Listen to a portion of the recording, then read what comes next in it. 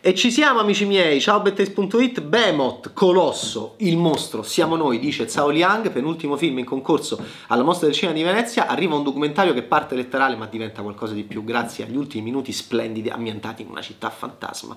Behemoth di Zhao Liang eh, usa anche Dante Alighieri, ci siamo un po' noi, ci siamo un po' noi italiani, perché? Perché è un film eh, sfiancante nella visione, soprattutto se vieni da tanti film, quindi povero Zhao, Zhao Liang, è stato difficile vedere il film, ma mi ha molto gratificante nel dopo, è, un film che devo dire ha lavorato molto dentro, dentro di me, dentro la mia testa e anche dentro il mio cuore, perché siamo in un girone dannato dell'inferno, all'inizio ci sono questi minatori nel sottosuolo della Mongolia, che eh, estraggono l'acciaio, che lavorano in mezzo ai fumi, in mezzo alla lava, in mezzo alla, a, al buio e in mezzo alla morte, circondati dalla malattia, infatti si ammaleranno. Poi a un certo punto Zhao Liang, che filma tutto a 4K con delle, delle immagini devastanti, ci fa vedere che sopra di loro c'è anche un'erba accesissima, quasi LSD, dove dei pastori portano le pecore. E oltre quella realtà però lui poi arriva al grande colpo di scena finale, l'acciaio, l'acciaio estratto dal sottosuolo da questi minatori che poi lui fa vedere in una zona più purgatorio, quando escono dall'inferno li fa vedere arrivare in queste casupole sulla terraferma, lontanissime però dall'erba accesa verde dei pastori felici, ci fa vedere che provano a pulirsi, provano a pulirsi le unghie, ma la suzzura, l'orrore, la, la sporcizia quasi miyazakiana, no? quel nero di Miyazaki che, che chi conosce Miyazaki sa che, que, che sono quelle, quelle, quelle masse no? di, di, nero, di inquinamento, sappiamo che sentiamo attraverso proprio le immagini di Zhao Liang, sentiamo che sta penetrando nei corpi dei minatori.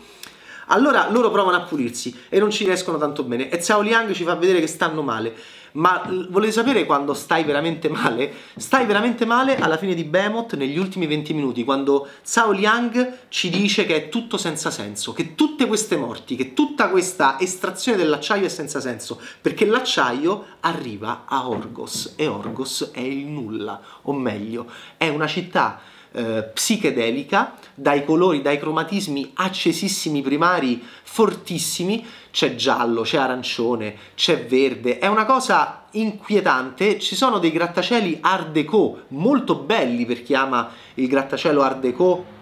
che negli Stati Uniti è uno stile diffusissimo, eh, loro lo chiamano art deco perché ovviamente mettono l'accento da un'altra parte e Orgos è veramente dovrebbe risultare il paradiso, ma in realtà è la diretta continuazione dell'inferno delle miniere che abbiamo visto all'inizio del film perché non c'è nessuno. Perché non c'è nessuno. E se non c'è nessuno in questa città, se non c'è vita, perché ci dovrebbe essere la morte allora dei minatori? Questa è la domanda che pone Zhao Liang. Orgos è una città della Mongolia eh, dove c'è un distretto di Orgos, Orgos è abitata, eh, ma c'è questo distretto eh, che fa parte comunque dell'agglomerato di Orgos Ghost Town, Ghost Town, andatevi a vedere le immagini perché sono incredibili anche su internet, certo è che filmate, filmati dalla camera di Zhao Liang sono ancora più spaventosi questi scenari metropolitani deserti, dove arriva l'acciaio dei minatori che muoiono eh, nelle, eh, nel sottosuolo lontano dalla città fantasma. Eh, devo dire che eh, non sappiamo cosa potrebbe accadere a Behemoth, che vuol dire colosso, che vuol dire mostro, e il mostro siamo noi, dice Zhao Liang alla fine, che cita anche Dante Alighieri, c'è l'inferno, c'è il purgatorio e c'è questa sorta di paradiso che paradiso non è. Non sappiamo che sorte può avere questo film all'interno di una giuria, e alla fine c'è il ringraziamento anche a tutte le famiglie di minatori, è un film molto solidale, no? con loro è partito l'applauso, e sentiamo che queste persone eh, stanno male davanti alla camera di Zhao Liang e quindi potrebbe anche essere considerato ricattatorio come proposta audiovisiva all'interno di, di un festival di finzione sono cavoli della giuria presieduta da Alfonso Cuaron. Sappiamo certamente però che il documentario dai tempi di Fahrenheit 9-11 con Quentin Tarantino che dice all'orecchio di Michael Moore hai vinto la Palma d'Oro a Cannes perché hai fatto un gran film, non perché ti sta sulle palle George Bush, quindi Tarantino con la sua solita gentilezza cinefila ricordava a Michael Moore in quel momento che aveva fatto un bel film, sostanzialmente sappiamo bene che qui a Venezia ha vinto Sacro Gradi Gianfranco Rosi pochissimi anni fa. Quindi il documentario è forte e il documentario arriva molto molto potente e chissà che cosa può succedere in giuria. A me veramente ho, ho molto faticato a vedere Behemoth, ma se l'avessi visto in un altro contesto senza